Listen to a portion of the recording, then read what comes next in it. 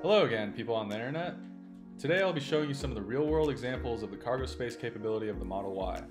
From construction equipment to dogs and tools, I cover all the real-world situations I've run into over the past couple of weeks.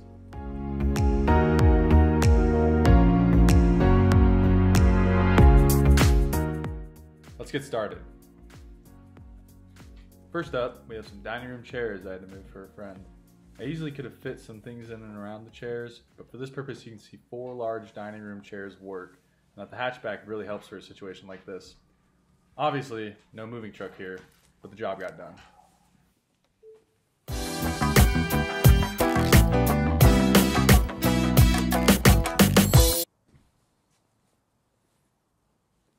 Here I am for reference, about six foot one, so pretty big chairs. Now you can watch me struggle with this dining room table. It is 48 inches in diameter, which I should have measured it up front, but I should have known it wouldn't have fit. Now we have some snow tires for one of my old vans. You can see that I tried to stack all three in the back and get the hatchback to close on it. It wasn't gonna work. I could have driven like this probably though.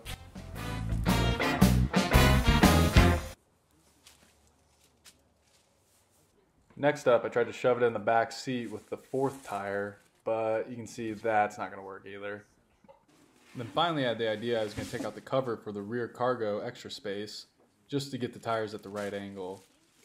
And you can see it is probably going to work.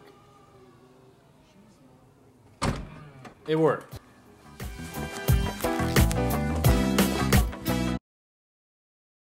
This car obviously also works great as a grocery getter to get all of your pandemic needs. Note, please stay home, help our healthcare professionals out. Six foot ladders and sawhorses? That's like donut holes for the belly of the Model Y.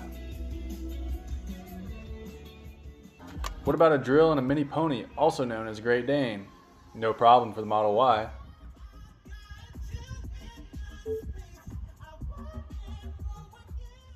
Let's up the ante a little bit. How about two mini ponies and more tools? Well, Model Y can handle this too.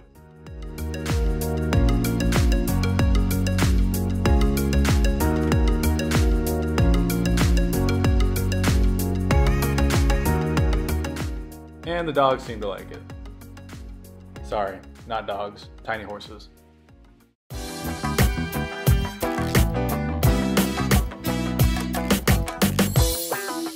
Again, for reference, here's some photos of the dogs in the Model 3 before we got rid of it.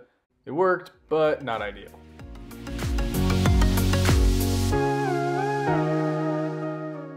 Up next, we got some construction supplies from your local hardware store. You're not gonna fit a 4x8 sheet of plywood, but 3x5 HardieBacker, that'll work. Plus, you can throw some other things in there too.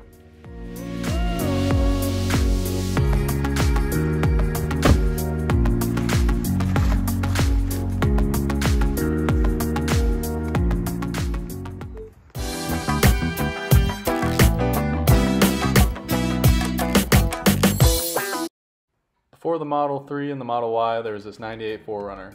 It did most of the job, but looks like the Model Y might be taking over. The Model Y appears to be a car for normal humans, or should I say silly Americans with lots of stuff. One small annoyance, the rear seat design always sets off the passenger seatbelt warning, regardless if there's tools or a tiny horse back there. Give it a little tap like that and you're good to go.